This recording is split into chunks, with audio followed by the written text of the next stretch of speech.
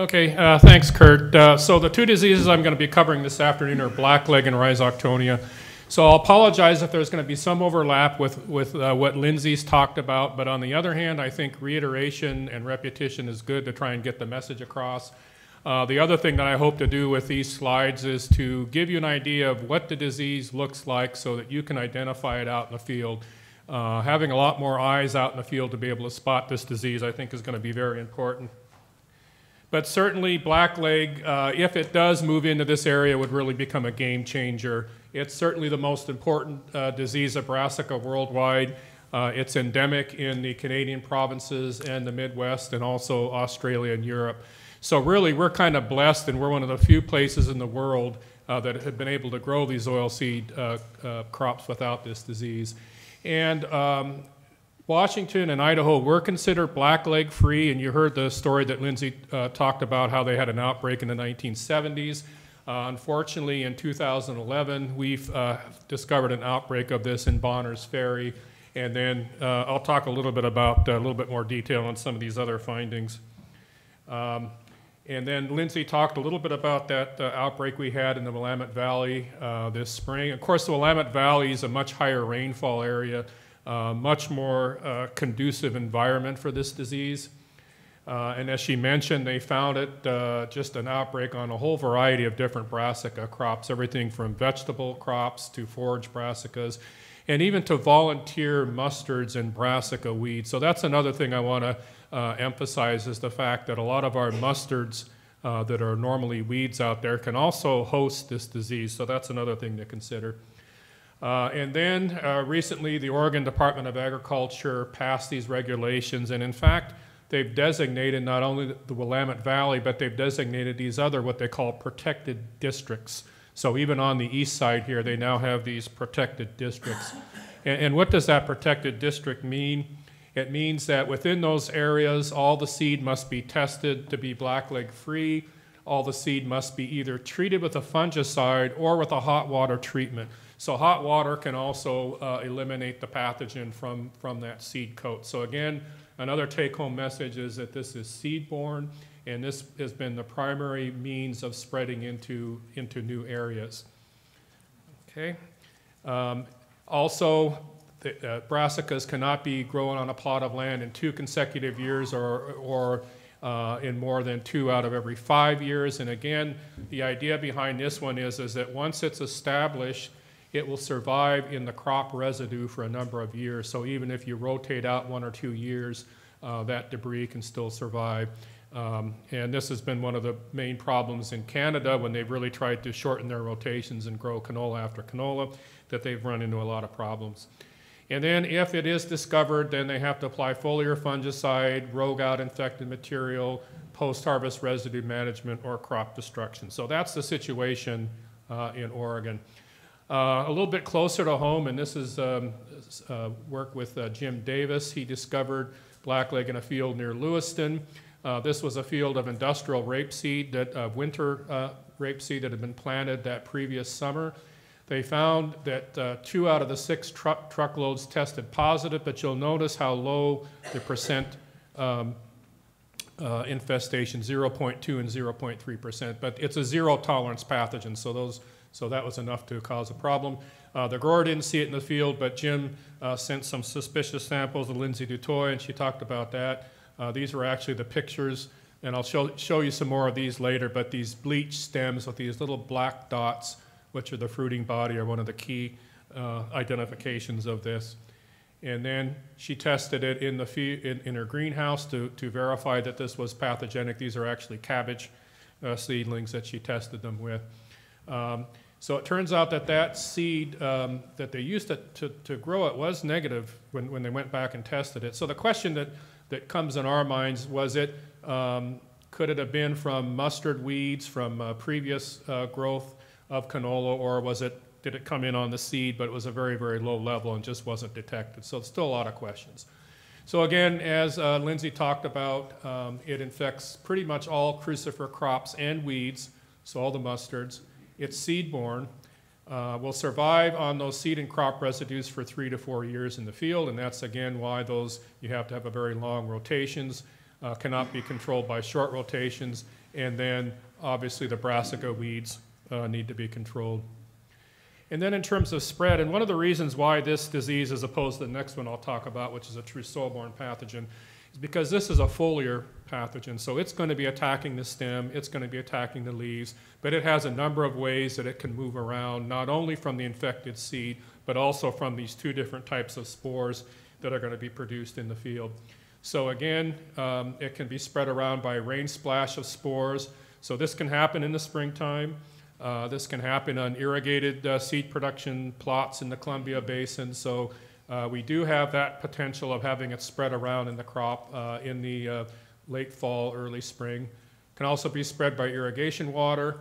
Uh, Lindsay talked a little bit about this, these airborne spores that are shot out in the air in the springtime and then, of course, on seeds, transplants, machinery, and workers. So lots of ways of, of spreading this around.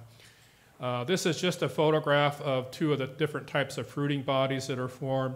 So essentially, these are like little containers that the fungus uh, produces called fruiting bodies. And then uh, they will mature and produce this little drop here. And this drop is composed of millions and millions of spores so that when a raindrop or an irrigation or whatever hits that, it will splash around and spread the disease further in the canopy. So it has this ability of very quickly producing generations after generations and spreading within the canopy, so kind of like a rust. Uh, this is a picture of the um, overwintering bodies, and I'll show you a, a, picture of that in a minute. So again, it's caused by a fungus. It, it goes by two names. Uh, depending on whether it forms a sexual or asexual stage. I think in the future they're just going to give it one name but you see it called Leptosphaeria maculans or the other stages of the Phoma lingam. And again, the reason it's called black leg is because it produces this black discoloration, this black lesion at the base of the plant and can eventually uh, kill the plant. The other characteristic symptom, and this is what I want you to all look out for in the field, is if you see this lesion or kind of like a uh, necrotic or brown spot, but you see these little black dots in that spot. That could be an indication of the fruiting bodies produced by this uh, fungus. Now, it turns out there's also, you could have other things that can cause uh, black spots or brown spots on the, on the leaf, and there may be other saprophytes that come in later, but usually this is pretty characteristic uh, that you have these black dots being formed. And you also see these uh, lesions on the stem which are very characteristic. And then I'll, I'll, go through some of these in a bit more detail here. Uh, one of the things you can find is on very early stages on the cotyledons, if you have a seed infection or you have the sexual stage reproducing in the, in the springtime, you can get actually an infection on the very first stage, the cotyledon. And if this happens, this means that it's got lots of time to reproduce throughout the season and spread. So you can see these little um, lesions here with those black dots, which are the fruiting bodies. Here's another close-up of them. A lot of times these um, dead areas are surrounded by a yellowing or chlorotic area around the lesion, which is another characteristic. Uh, here's some symptoms on some older leaves. And again, it can attack pretty much all stages of, of the leaves. And you can see those little uh, lesions with the black dots in them. Here's a close-up Again, everything's kind of bleached out and killed. So essentially, the pathogen went in there, killed all that tissue, established its infection, and then starts to reproduce by forming these little black fruiting bodies. And there's another, uh, oftentimes you'll see these in between the veins uh, produced. And then this is the symptom on the stem, so especially on the lower stem, and it will, uh, if it gets at this stage, it will uh, kill the entire plant and, and, get into the vascular system. And this is just a close-up of some of those uh, fruiting bodies on residue. So what happens is, once those infected stems fall to the ground, overwinter under the snow, it will form these fruiting bodies, and then in the springtime, they will puff out these spores and release these spores and start the whole infection process over again.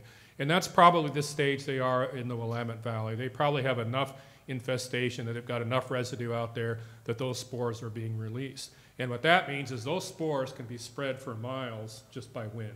So that's the real uh, problem here. They're not just splashed around by rain, but they can be spread by wind. So Lindsay covered some of these uh, already, but again, the main thing is to start with disease-free certified seed. Uh, don't just borrow or get seed from your neighbor who hasn't uh, had any testing.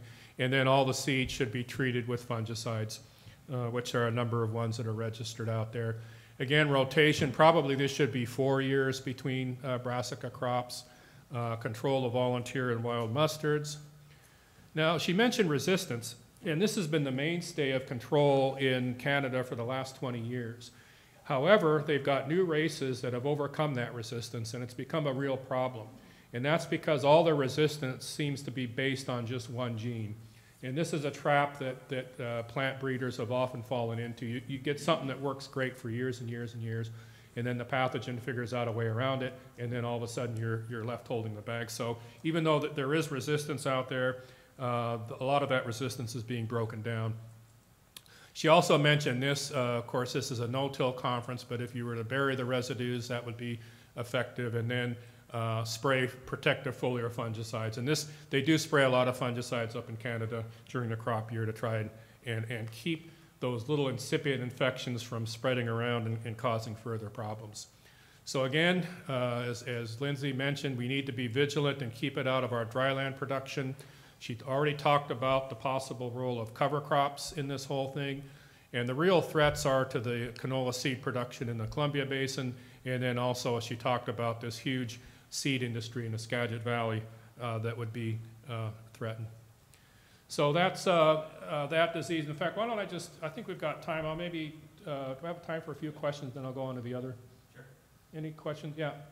Yeah, Dale's question is what happens if we find, a grower finds that they, they have it? Uh, you know, I think that, and again, I'm not a regulatory person, but I think the thing that would have to be reported to Washington Department of Ag, and I think, I'm hoping that they have contingency plans and, and probably very similar to what, uh, I'm sure that they're going to have a protocol, probably very similar to that, where they'll go out and inspect that They may have a crop destruction. Uh, you know, they may have you turn the field under, um, you, you know. But, uh, but the, the main thing I'll emphasize is to keep an eye out for it. And if you have anything that looks suspicious, take it to your county agent, send samples to myself or Lindsay or another pathologist uh, to really confirm it. Okay, so let me just briefly, and we'll have some more questions later on um, afterwards, um, just briefly talk about another disease. And this one is a true soil-borne disease, so this one, fortunately, doesn't really have the capacity of spreading around. It's probably already in the soil. The only way that it can be moved around is by soil on equipment, etc. And uh, this one causes what we call a damping off. So it's really going to attack primarily the seedlings or the young plants. It goes by the name of wire stem, and I'll show you uh, why they call it that in a minute. So it's going to attack young seedlings, also attack the taproot, and, and be a root rotting organism. And um, if you've heard talks about rhizoctonia, you, have heard us talk about these different groups or anastomosis groups. And the one that affects wheat is one we call uh, AG8. This one is called AG2-1. And this one appears to be highly virulent on pretty much all brassicas. So this would be canola, camelina, all the um, uh, brassica vegetables, etc. Turns out it's also pathogenic on peas and lentils. We've demonstrated that. But so far, all the work we've done on cereals appears that it really doesn't do much damage to cereals. So in fact, uh, when we used to do root rot ratings with Kurt, I know we did some inoculated studies. We would find a few little lesions here and there, but it really doesn't appear to do much on the cereals. So it really appears to be more of a broadleaf uh, pathogen.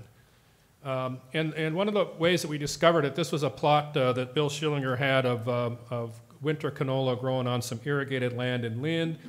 Uh, we got a good crop up, and then about two weeks later, he started to see these plants dying within the row. And, uh, and then when we took a look at them, we found that they were infected. We isolated a fungus, put it back into the greenhouse, and reproduced these very typical symptoms. And, and this, this is why they call it wire stem. So what's happening here is the pathogen is down in the soil and then uh, grows up the, the, young stem and then completely kills or girdles that seedling, so it'll completely kill it off. And there's a close-up uh, there and another close-up. So here you can see living tissue above, but it's completely killed this tissue. So the seedlings will just uh, completely flop over and die. So you'll, you'll get a, a, a big reduction in, in stands. And it can also attack older seedlings. So this was a, a plot we had at the Cook Farm a few years ago where you saw these dead plants uh, next to live plants. And when we dug those up, these carcasses here, and looked at the stem, you could see again this very characteristic um, browning that was moving up the stem from the roots. And here's some other examples here. So uh, in this respect, it's kind of like blackleg and then it's at the lower base of the stem here, but you never see those little bleached out areas with all the little black specks in it. This is just is generally a, a browning, kind of a dark brown color uh, that's moving up here. And to kindly finish it off, there are, turns out, a few other rhizoctonias that can also cause uh, stunting. This is one called a binucleate, uh, one that we tested out in the greenhouse. But I've never really seen much evidence in the field that this is really uh, doing much. Uh, here's another example of one of those ceratobasidiums uh, that are out there. So again, management of this one, uh, crop rotation is probably not going to be beneficial because it has a wide host range. And it also appears that uh, I think that it can actually survive on the wheat and barley. Um, even though it's not doing much damage, I think it enables it to carry it over. Turns out when we survey our areas around here, we find 2-1 pretty much in every area that we've surveyed, so it's, it's one of those indigenous ones. Uh, seed treatments, we haven't seen much protection against it, and I think that's because the seed treatment has to have the ability of being systemically transported up to that young hypocotyl for at least two or three weeks to protect it. And I just don't think a lot of those have that capability. Uh, we don't uh, have any resistance, although we'll probably start to look for that again. Uh, and then here's a few um, good uh, resources. So the Pacific Northwest uh, Plant Disease Management Handbook's on the web. Uh, it's got a lot of the fungicides that are registered. Um, there's also a book that's put out by the Society of Plant Pathology on brassica diseases. And then, of course, a lot of the best information comes out of Canada. They've got lots of neat things on their website uh, because they grow so much canola up there. So I think with that, um, that's all I have. So are there any questions before we move on to another disease? Ron? Yeah, I, I, will have to admit I don't know much about those diseases, but I know they're a big problem in Europe. But of course, Europe has a really much different climate than we do, a wet climate.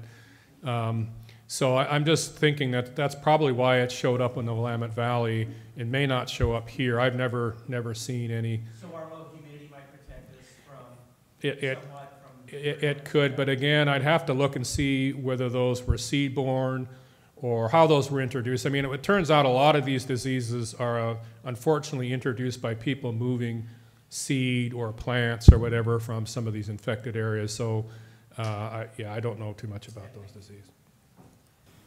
So our next speaker is, is uh, Jim Davis. Uh, Jim is a research support scientist with the University of Idaho canola rapeseed mustard and mustard program. He is a, a, North Idaho native and has worked in canola rapeseed and mustard at the University of Idaho uh, for the past 26 years. So, Jim? All right, thanks. I want to start by mentioning some online resources. Tim mentioned some. There's a lot of online resources, uh, websites, University of Idaho, the WSU Biofuels Oilseed Cropping System uh, group has a good website. Pacific Coast Canola now has a website, uh, U.S. Canola Association, the Canola Council of Canada, on and on. One I just found that's really cool uh, is the Canola Encyclopedia, which is a Canola Council of, Can of Canada one. Um, it's, there's a lot of information, and I put together a handout of a lot of these and Megan is going to pass those around if you haven't picked one up from me already yet. Uh, so you don't have to scribble these links down in, in, a, in, a, in a big hurry.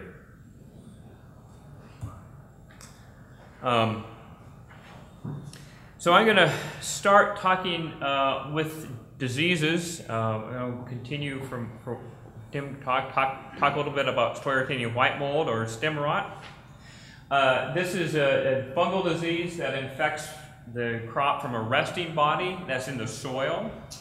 Uh, it's either there from a previous broadleaf crop or perhaps a contaminant in the seed. It needs warm, wet conditions uh, to infect the crop. And so typically it's more of a problem in our area with winter canola because the crop is at a susceptible stage when things are wet uh, in the early part of the summer, or a problem in irrigated canola.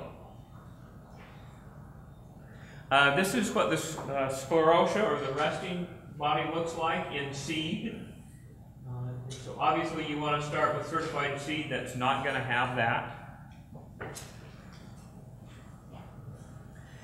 Under the right conditions in the soil, uh, warm, moist conditions, these resting bodies, sclerotia, germinate, and they produce these little cup-shaped fruiting structures. And these are going to produce spores that- that'll be ejected and float up onto the crop. Now, the interesting thing is that these spores will only germinate on the canola flower petals. Um, and so what happens if when canola is flowering, produces a lot of petals, you know, enough to completely cover the ground. And so if petals happen to land like in a leaf axil, for example, which is pretty common, or even on the surface of a leaf, the spores will land there, they can germinate, and then they can infect the plant after that. And what you end up with then is this infection in the stem, and you've got this sort of white mold looking thing going on. And that will girdle the stem and kill the plant. And so later in the season, what you see are these light colored white plants that sort of look like they've just matured early, but typically uh, they've been unable to fill seed, and so there's not going to be any seed in those pods. As the fungus continues its life, cycle, its life cycle the plant, it'll produce a new set of sclerotia inside the stem, and then these end up in the soil ready to infect the next broadleaf crop, or they might end up in the seed as well as the stems get ground up in the combine and, and, and they get and they get sorted out. So control, again, we've kind of got the same mantra going. We want to start with certified disease-free seed. Uh, typically a four-year crop rotation from any broadleaf crop. So this um, disease can affect anything from peas to potatoes. Uh, and, and so when you're looking at crop rotations, you have to be thinking about more than just canola or mustard. There are some fungicides that are available uh, when you are going to have enough of a infestation to make it uh, economically important. Uh, you would apply that typically at the beginning, the first part of flowering, because you want to prevent the infection. Once the crop has already in, been infected, the fungicide is really not going to do any good on that particular plant. Um, as a general rule, it's only going to pay to put on, down the fungicide if the infection rate is going to be greater than 20%, or there's a scoring system that I'll talk about a little bit more uh, if that score comes out to be greater than 40 on a scale of 1 to 100. There are some labeled and fungis labeled fungicides. Uh, a couple of those are Endura and Quadris. I should mention that Headline, which is we commonly use in our wheat and, and around, is not labeled for the control of. Uh, this is a fungicide that is also marketed as having plant growth improvement characteristics. And I know that people have applied it for that on canola. I'm not going to say whether it works or not, but my thought is it's not a good idea to overuse it. This is a fungicide that we might need for blackleg. It's not going to help you with sclerotinia at, at all, if you do have it. So I'll talk a little bit more about this, if I can hit the right button, uh, about this sclerotinia uh, stem rot checklist. And this is available on the Canola Council website. And although sometimes you can actually pick up pre-printed versions, but they have this as a PDF, and so you can print you can print it out and look at it. And it's basically got a number of things for you to uh, to evaluate, so you can decide you can predict whether or not you're going to have an infestation that's going to be large enough that you're going to want to consider a fungicide. So first off, you're going to look at the last uh, the number of years since the last canola or broadleaf crop. Um, so, for example, if it's been more than six years, you're going to give it a, a, score of zero. You know, if it's been one or two years, you're going to give it 10 points. Uh, then you want to think about the disease incidence in that last host crop. Uh, you know, from none to high, and so you get a, you know, from zero to 15 more points.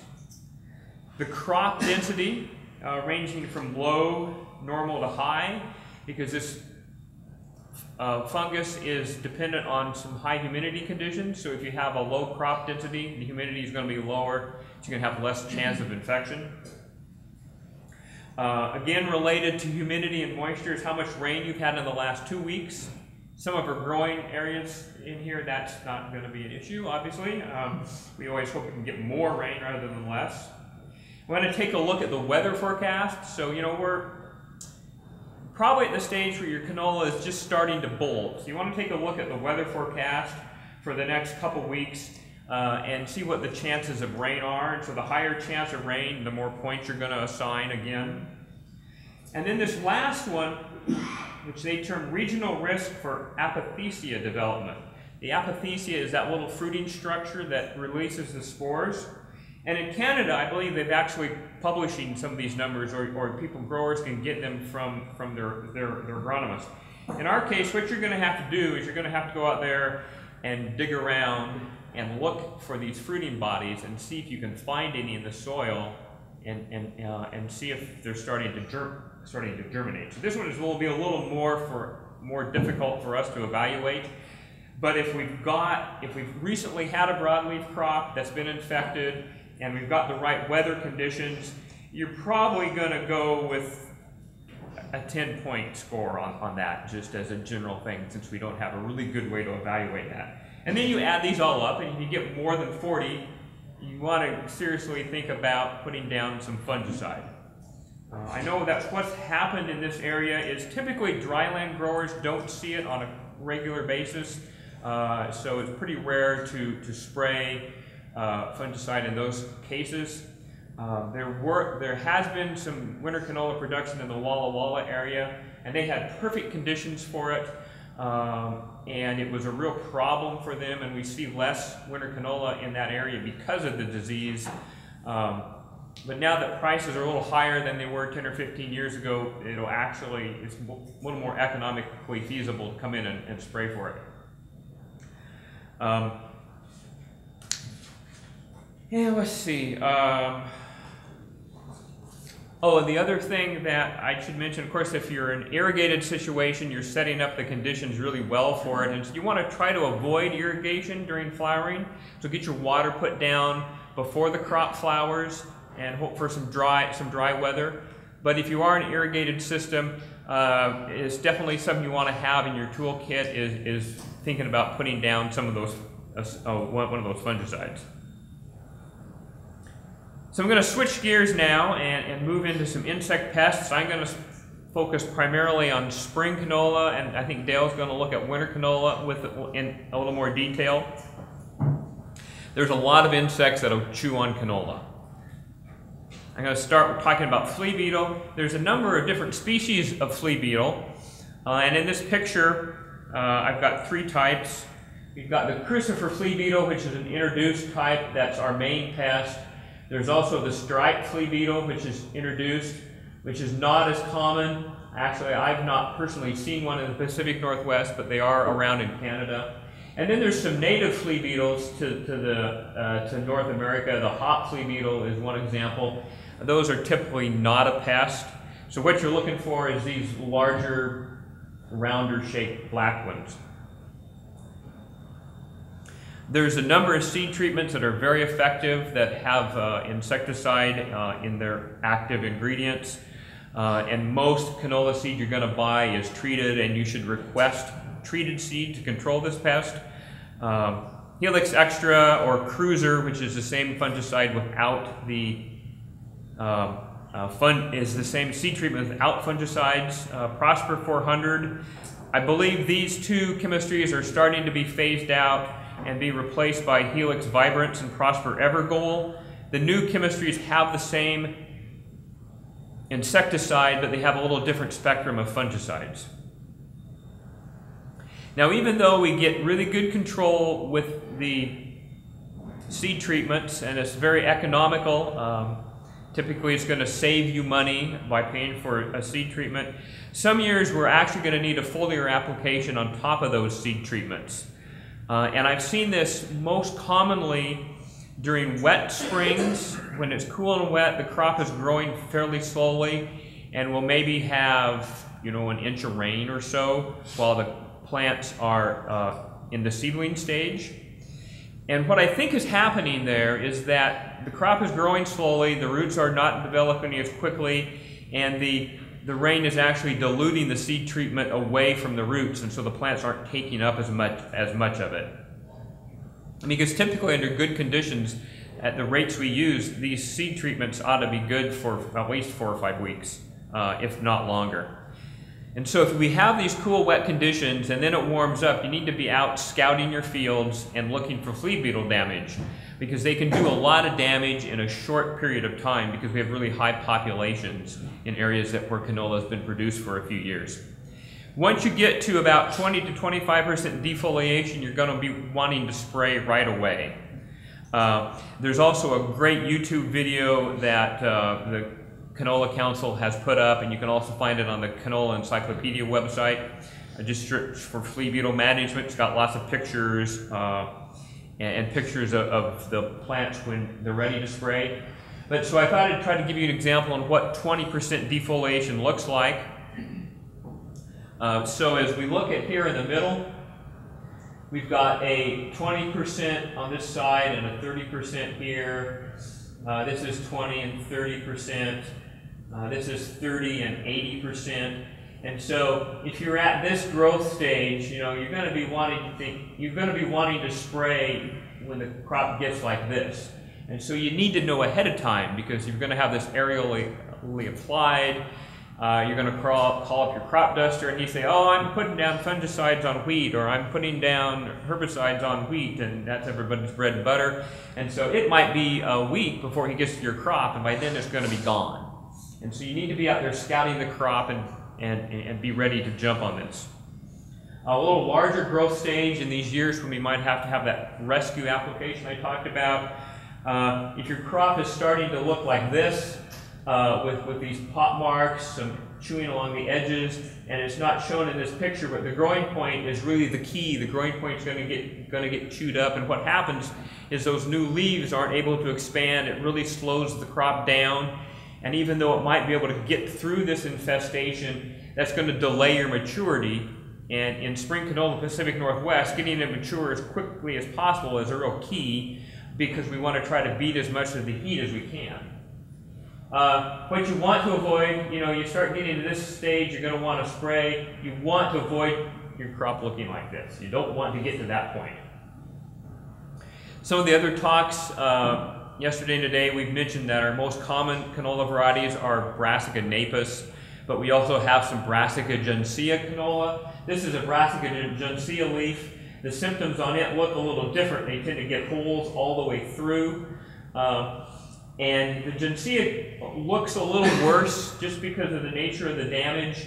Uh, it can actually handle a little more damage than the Brassica napus canola. But if you're getting to a stage like this on the plants when they're small, you know, maybe uh, two to three leaves or four leaves, uh, you're probably going to want to think about a foliar application.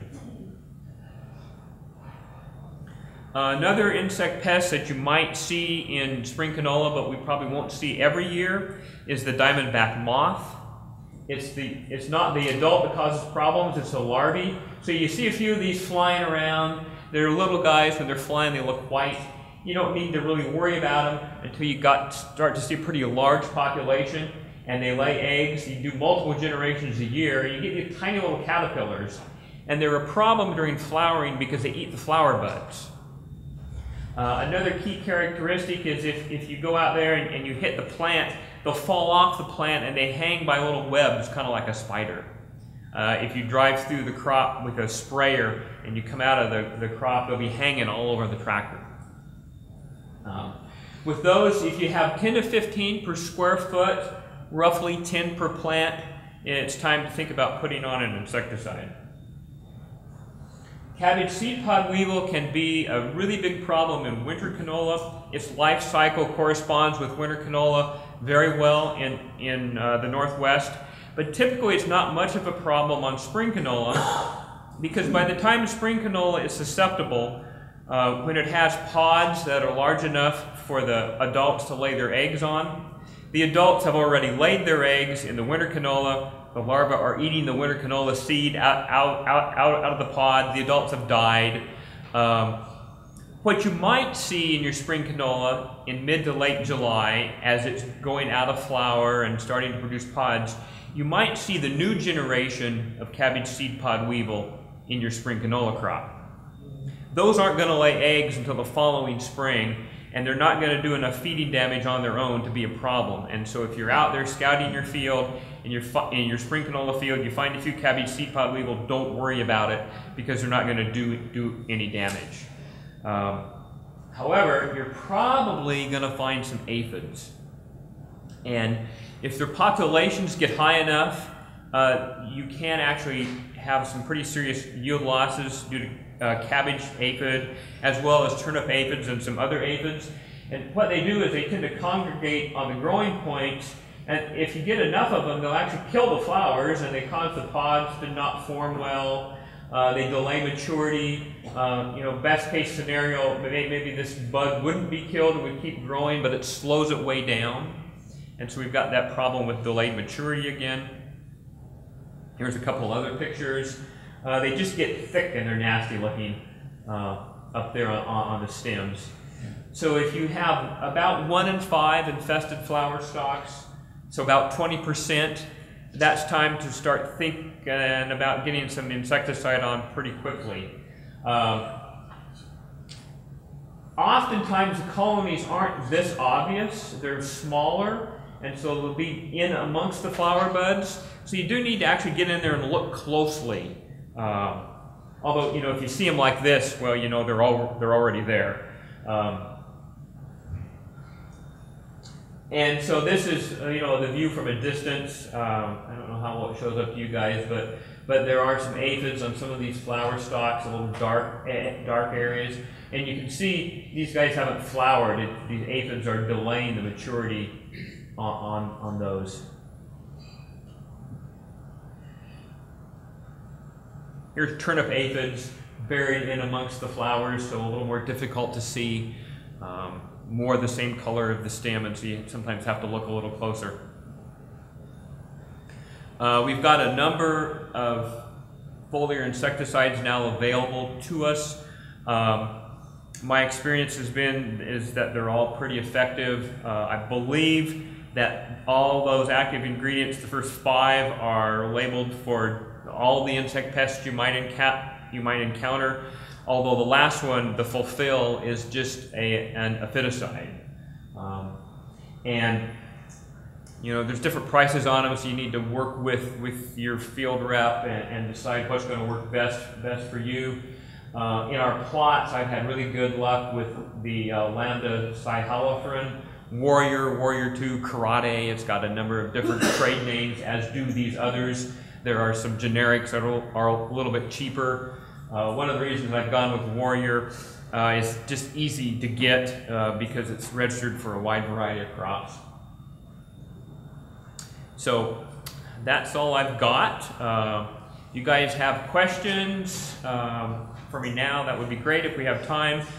But you can also email me or call me or, or call Jack Brown or email Jack, and we're more than happy to try to find answers to your questions. Uh, the, the question is, is about if I'm aware of any work been done with uh, biologicals for control of sclerotinia, and I don't know. I, am not aware of any. Of any.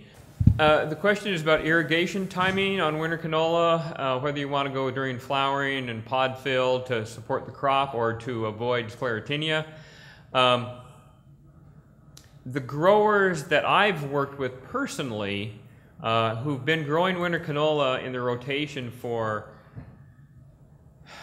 oh, at least 10 years, have built up a reasonable level of sclerotinia, sclerotinia in their soil, and they also grow potatoes in that crop rotation.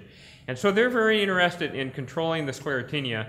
And so what they found in their situation is they try to get the water on right before flowering and, and, and hope that they're going to have enough water to take them through flowering.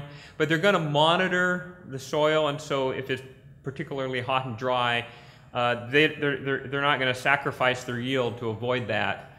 Um, if you're a new grower, irrigated grower, you've not had broadleaf crops, which seems like a stretch, then it's not going to be a, that big of a worry because you're not going to have, have, it, you know, have it in your soil.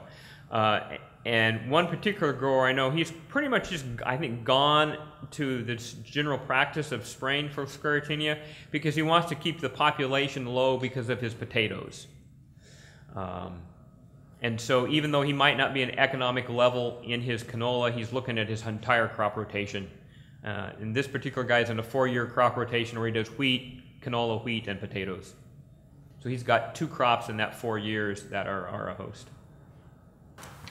So our last speaker this afternoon for our session is uh, Dale Whaley. Uh, Dale's an extension educator and has been working with WSU Extension for the past 12 years and uh, is currently assisting Douglas, Chelan, uh, Kittitas, Okanogan County residents with their agriculture and uh, integrated weed management needs. Dale, thanks. Okay, well, today I'm going to talk about insect pests, and, and some of the slides that we'll see will be uh, a little bit of a, a reflection of what Jim had talked about. But this is what we want when we're growing canola. This is winter canola. This is up in northern Douglas County. You can see that we have uh, really good stand establishment. That was one of the big problems that we had starting off. Um, we can see that, you know, transitions into a great crop. You know, we're trying to shoot for that magic ton to the acre. That's kind of what everybody shoot, shoots for. You know, pods the size of snap beans. But, uh, you know, it's kind of like the Kevin Costner film. You know, when you build it, they will come. And so we have this great looking stands of canola, but now we have the cabbage seed pod weevil showing up, uh, lygus bugs, aphids, flea beetles, and a host of others, including your diseases. And so, how do you know when to treat uh, your field for these insect pests? You know, do we just look at the calendar and go, well, yeah, I remember putting on some insecticides back in, uh, you know, maybe May 7th, or I remember my neighbor putting on a product, or my grandpa several years ago put on a product. I better go out there and put on that same product. Do we do that? And everybody in the room should say no. What we got to do is we got to know what's going on in our fields. We got to know um, where those pest levels are at. And just real briefly, I just want to uh, explain the slide. So here we have number of pests. We have uh, average density of pests. So this, this population of, of insect pests will fluctuate depending upon weather, uh, control methods, and so forth. And then we have the economic injury level, which is this level here, and this is the level of pest damage that is equal to the cost of control. So in other words, if, if it's gonna cost, we'll just throw out a number, $20,000 to control uh, insect X, they've already done $20,000 worth of damage, so we've kind of already missed our opportunity um, to, to really gain any on that problem. And so really what we want to do is we want to come to this level here, this economic treatment or action threshold, to stop that pest population from reaching this um, economic injury level. Hopefully that all makes sense to you guys. So how do we know what these levels are in our fields? Well, you got to be out there and you got to be looking. You can't just think about it at night or be watching TV and going, you know, I wonder what's going on in my field. You got to actually be out there looking for you know, the signs and symptoms of maybe diseases on your canola or looking for uh, insect damage or the actual insect themselves. And I will show you what some of those guys look like. So ways to field sample, sweep net. How many in the room own a sweep net? One, two. How many in the room grow canola? One, one. Okay, well then you're just, a, you just like having a sweep net. That's great. Uh, sweep net beating sheets for like maybe the diamondback moth. You're out there, you know, you hit the plants, they start to drop down. Stem sampling, this is for aphids. Uh, sticky traps, if you're looking for uh, other insects. Insects like the color yellow, so they will be attracted to that. So uh, a lot of questions I get from producers in my area is, well, where do I sample? You know, do the should I sample just right along the road because it's easy access? You know, I can just stop the pickup, maybe get out and look, or maybe slow down see what's going on? Or do I walk out in the middle of the field and take a sample? You know, these guys, well, where, do, where, do I, where should I look for this stuff? Well, what I tell them is look all over your fields. You know, if there's very few flat fields where I'm from, Douglas County. So, you know, you might have a portion of a field and then you got to draw and maybe that portion of the one field might be okay, but you go down into that draw and maybe that's where, you know, all hell's breaking loose. You got to get out there and you got to look in your fields. That's one of my plugs about sampling. Okay, so the first insect pest that, uh, that we've had a big problem with up in our area is the cabbage seed pod weevil. And, um, you know, typical of, of, of all your weevils, they have, you know, the elbowed antenna, long snout. You know, these guys are small, three to four millimeters, you know, ash gray in colored. And um, this is what they look like. Uh, life cycle of these guys, um, adults over winter, they will emerge and start to uh, become active um, when temperatures rise above 12 degrees Celsius. They will then um, fly around, and once they get on the buds here, that's where they start to um, feed and lay their eggs. Eggs uh, develop in the pods themselves. They'll drop out as a uh, larvae, pupate in the soil, and we'll repeat this process over again. Damage symptoms uh, of larval feeding. So here we have uh, a larvae inside the, the, uh, the pod. And uh, when the larva consumes the seeds within the pod, the undamaged seeds uh, enlarge and continue to grow. And so you get these misshapen pods. So here on the top, you have one that, that's normal. And then you get these twisted and bent pods. And if you pop those open, you will see larvae inside feeding on those pods. And so that's a, a great cue of, wow, that does not look normal. I better go over there and start pulling apart some of those pods, see what's going on. Monitoring, yes, question. It's too late then. Is- Yeah, so the comment is, it's kind of too late then. I mean, you, you, you really got to be out there looking for the adults, um, correct. But if for some reason you've, you've, you've missed that phase and you're seeing these twisted up pods, that will tell you um, what's going on and then we'll give you an idea of what you need to do for your next round of canola. That's a good point. Monitoring, so time to monitoring is at this stage when the, uh, the adults are, are on those, um, on those buds, do that with a sweep net. So if this is your field, I recommend monitoring the borders and also taking samples in the interior part of that field. Um, so threshold management. So insecticide application is warranted when an average of 30 to 40 adults are collected per 10 sweeps. So if you're out there and you're taking a side-to-side 180 sweep with your net and you're collecting three to four adults per sweep, multiply that out, and um, 30 to 40 adults, and that's your treatment threshold. Um, up in our area, we don't know why cabbage seed pod weevil um, is as abundant as it is, but I have been um, or found plants where one plant tap that into a tray or into a, a, white sheet, and I have 100 adults off of one plant. They're dripping with cabbage seed pod weevil, and so we need to figure out why is that? I mean, why do we have such huge populations? Anyways, that's one of our problems. So cultural control, you can use trap crops. So basically, you can uh, plant uh, maybe a border of an earlier um, growing variety, so that those guys glom onto those particular plants, and you go in and spray just that instead of treating your whole field. If you don't want to maybe mix of varieties, you could just plant your variety a little earlier. Um, deer might come in and, and, and eat that, but this could you know be used as a trap crop for cabbage seed pod weevil. Chemically, there are a number of seed treatments and foliar sprays, and all this information can be found in the uh, uh, insect uh, management book for the Pacific Northwest. And whenever you're spraying, it's just a plug. You know, try to minimize, um, you know, non-target effects. You know, uh, especially when the canola is flowering and, and whatnot. You know, we have a lot of honeybees out there foraging, so it's just a plug to try to save the honeybees. Uh, cabbage aphid. Uh, if you've never seen an aphid up close, this is what they look like. Um, got little cornicles here, little exhaust pipes, and these have piercing, sucking mouth parts, so they're sucking the juices out of the canola and causing the damage. Here's what the damage looks like. Um, so the, the, plants can appear stunted, um, have short nodes, uh, leaves could curl up, maybe exhibit some purplish coloring, which you might think might be like a nutrient deficiency, but really it, it's, it's uh, aphid feeding. And the problem with this for, uh, for a winter canola stand, this going into the winter, these plants right here are probably going to not make it. They're probably going to die, succumb to the winter, winter kill. And that's not good with aphids. So turn over the leaves, you can find colonies like this. And then um, as uh, Jim had, had, mentioned, you know, you get to uh, populations like this that's feeding up on the heads. Um, this isn't good. It can cause the, the abortion of seeds and so forth and really affect yield. So this is, um, this is not good.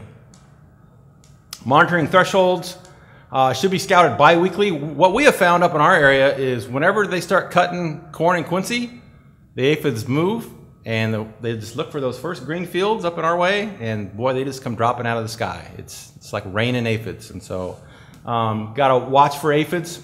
Treat for aphids when populations exceed uh, two plants per seedling stage, five per leaf. And again, as Jim mentioned, you know, you have 20% of your heads are infested uh, during the bloom is a treatment threshold. Management options biologically, um, coccinellid beetles or ladybug beetles um, can eat a phenomenal amount of aphids, uh, up to 500 uh, in their lifetime. And so um, when these guys are out there, it's, it, you got to kind of start to ask yourself, do I have a, a good enough population of beneficials? So again, when I was talking about monitoring, in addition to looking for the pest, also look for your beneficials. So ladybird beetles, maybe um, lacewing larvae, and so forth, and then make that judgment call.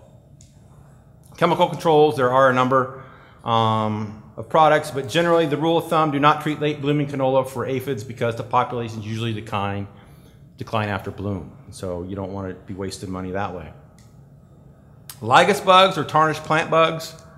Um, these guys, if you've ever not seen them, they have a triangle shape typical of all, all your true bugs seen here um, compared to your the immatures, which will be green in color and they'll have these little black dots. And so that's the distinguishing um, characteristics between the two. Damage symptoms, um, adult lygus bugs feed on the developing buds seen here and um, flowers and seed pods resulting in dis distortion and abortion of seed pods um, known in the literature as blasting. And uh, they will also feed on the stems in this picture here. So they're out there with those piercing sucking mouth parts, sucking the juices out of these pods and stems and causing um, a reduction in yield that way. Monitoring, start scouting fields at the bud stage. Again, use a sweep net or you could use a, a beating tray or beating sheet. Um, you, are going to want to do this when temperatures are above 20 degrees Celsius and when the crop canopy is dry. So up in our area, if we ever get a rain, which we hardly, hardly ever do, um, but when it does rain, insect activity is basically nil. They drop down to the, to the floor and, and you're not going to find anything. And again, um, remember that insects are cold-blooded, so if it's super, super cold out, you're probably not going to get a lot of insect activity. You're going to want to sample when things are warm, warm sunny days. Take 10 sweeps side to side, sweeping through the area. And your threshold management, so treat if uh, you're finding 15 lygus bugs uh, the, between the bud stage and petal drop, or if you're finding 20 lygus bugs uh, after petal drop um, with those 10 sweeps, that would be your treatment threshold. So options, uh, biologically, there are several insects that will attack um, lygus bugs. Um, you know, some of your, there's some parasitic wasps, um, some damsel bugs and so forth will go after the adults. Chemically, there are a number of products, you know, seed treatments, you know, bifenthrin and others, Warrior, um, the list that was read earlier um, will work. Flea beetle, I'm not going to spend a lot of time on this because we already talked about flea beetle, but a uh, little larger picture of, of, of the two. So this is uh, this one, and this is the striped flea beetle here. These guys are small, and it, uh, I've seen a few of these, uh, of this one here, and they're very characteristic. They're called flea beetles because they like to jump. They spring like fleas. And so you get, when you're down there looking around the leaves and whatnot, they're just popping. And so that's what you're going to want to look for. And make sure you got your glasses on because, again, these guys are tiny. Um, life cycle, they're going to do the most damage uh, as larvae and adults between May and June um, on the winter canola. Uh, here you can see severe feeding damage, similar pictures as what we saw earlier compared to uh, undamaged seedlings monitor the borders of, of the field because these guys can move in uh, pretty rapidly and they will um, stay around the borders and cause a lot of damage. Continue scouting like it was said before for two weeks because these guys can move in quickly and they can cause a lot of damage uh, very rapidly. So again, uh, similar similar picture. Uh, that economic treatment threshold is 25% because they are going to reach if you don't do anything at 25%, in a couple days you're going to be beyond 50% and those seedlings are going to not be very happy. Management options, cultural control, um, varieties that have high seedling vigor or you know that produce uh, rapid growth uh, might be an option culturally for, for this particular pest. Crop rotation, I have a question mark. Um, with crop rotation, really the literature says it's not effective method for control because the overwintering adults uh, will overwinter, the, the adults will overwinter inside and outside of that crop and are capable of long range migration. So you might think you're, you're, you're free and clear, but lo and behold, bang, there they are. So you got to be out there looking in your fields. Biologically, um, the answer is no. Unfortunately, you know, these guys emerge in large numbers and can overtake um, any of your beneficial insects and still create quite a bit of damage. Uh, chemical, there's a number of seed treatments and post-emergent foliar sprays. Again, referred to the Pacific Northwest uh, Insect Man- Management Handbook. And there's a, uh, a number of other insect pests um, mentioned, you know, the diamondback moth. Last year in our area, grasshoppers were a big problem. Um, lots of them. I mean, lots. Uh, the economic threshold for, for treatment threshold is is seven to twelve grasshoppers per meter, and um, I think we exceeded that in some areas. And when guys were cutting canola, um, you know, there you could look behind them in the, in the bulk tank, and it's like canola seeds and grasshoppers, canola seeds and grasshoppers. It was just literally hundreds of them. And I was kidding with one of the producers. I said, "Well, just think of your your your protein is up, you know," and uh, he didn't think that was very funny, but. Um, that's all I've had for, for insects. Uh, I think we have questions for the panel now. Uh, for any of you that uh, have additional questions for the three of us. So the question is, is, is on aphids with biological uh, control, is there any recommendations or is there anything out in the literature that says, you know, if you have X amount of, of you know, beneficial ladybird beetle or ladybug, um, you know, I have not seen that in the literature. I think it's uh, a judgment call. Um, if you're seeing very few, you know, that might not be enough. I know that, uh, you know, um, it's difficult to spray when you know you're killing beneficial insects, but sometimes um, there's not enough. And so, and other times, you know, you might think, wow, there, there is, there's plenty, and we're just going to write it out and see what happens. So that's a good question. Um, if I can make a comment on that, what I've noticed if you're scouting on a regular basis, you can see the aphid numbers increase. And so if they're increasing rapidly, you don't see very many beneficials or predators there, uh, and you, you get to that threshold of 20% infected stems in short order, you're going to need to spray. If you're out there, you're watching, you're seeing a few aphids, you're seeing some ladybugs, the populations are not increasing very fast. Just keep watching it, and, and there's a good chance that they are going to be able to keep that uh, aphid population in check. So it's a matter of just watching and see what's going on in your field and how quickly it's changing. Yeah, like Jim said, the key is watching that. You got to be out there, boots on the ground, with with these insect pests. I have a question. Yeah, question. So, how often have you seen lygus bugs that were thick enough that you needed to spray for them? Um, for some reason, again, they, they must like Douglas County because I have seen um, out sampling for cabbage seed pod weevil um, a tremendous amount of ly- lygus bugs um, beyond the 20.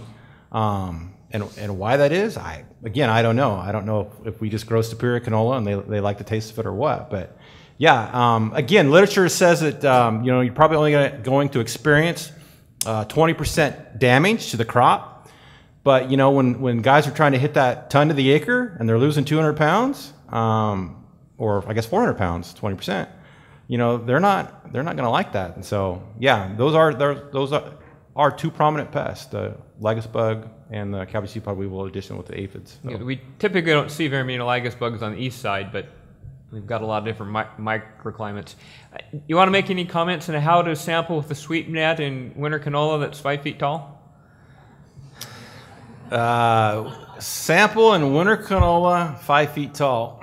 well, um, you know, always with your traditional sweep net, you know, you want to take your sweep side to side, you know, 180 degree. You know, sometimes you, you know you can, you know, you can swing it like you're, you know, last on a rope. You know, um, don't be afraid uh, to do that because you know, uh, canola is pretty, it's pretty tough. Um, you know, you're not going to be ripping pods off or like, you know, you just did that in a wheat field that was you know, getting ripe, that, that's going to be a bad idea. But um, yeah, you know, hopefully your canola is five feet tall to sample. So, so the question was, uh, this past year was pretty dry. What percentage of canola was planted in Douglas County? Um, without having the, the actual records on hand, um, what I can tell you is is that we've increased canola acres immensely in our county. When I started in 07, we had um, two producers growing about uh, two to 400 acres each. So we'll just go the high end and say um, 800 acres. Now we're over um, between 12 and 14,000 acres, 28 producers. And um, even though it, it was dry, um, it, it really depends upon when you plant that canola and when you, you know, get that seed into moisture. Um, you know, you got to plant when Mother Nature tells you. That's what we found in our area.